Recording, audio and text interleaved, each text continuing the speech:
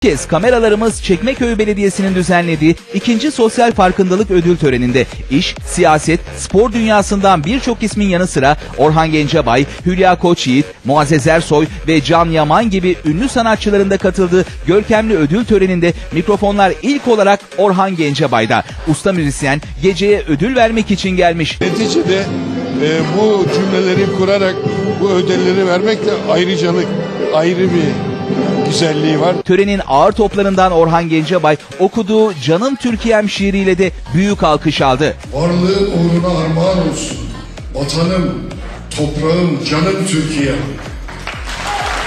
Hülya Koçyiğit şıklığıyla dikkat çekti o gece. Yeşilçam'ın yaşayan efsanesi yaşam boyu onur ödülünü Serdar Gökhan'a teslim etti. çok değerli, çok kıymetli arkadaşım Serdar Gökhan.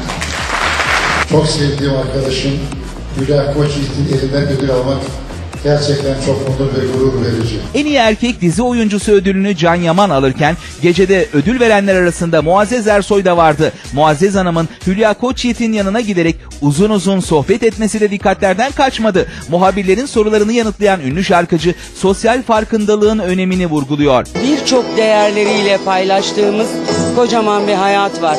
Ve bunun içinde insanların birbirine sevgi, dostluk elinin uzanması gerekiyor. Halkın oylarıyla ödüllerin sahiplerini bulduğu gecede yılın en iyi kadın haber spikeri ödülünü Star Haber Genel Yayın Yönetmeni Nazlı Çelik alırken Star Life yılın en iyi magazin programı seçildi. Çekmeköy Belediye Başkan Yardımcısı Şenol Çetin bu önemli ve anlamlı ödülü tüm ekip adına Star Life Magazin Müdürü Sinan Güzel'e teslim etti.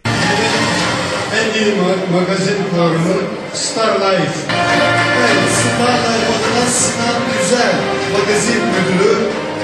Star Life yılın en iyi magazin programı seçildi.